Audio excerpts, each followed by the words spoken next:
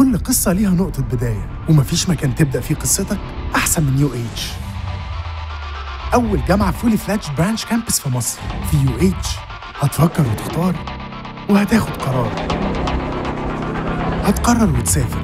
هتتعلم تعليم بره جوه. هتجرب بإيدك وتعافر وتجرب تاني وعاشر. وفي الآخر هتاخد شهادة إنجليزية معتمدة عالميا. هتتعلم هتكبر هتطلع اللي جواك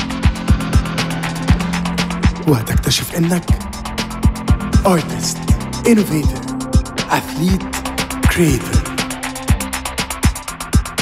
هتقدر تبقى اللي نفسك فيه.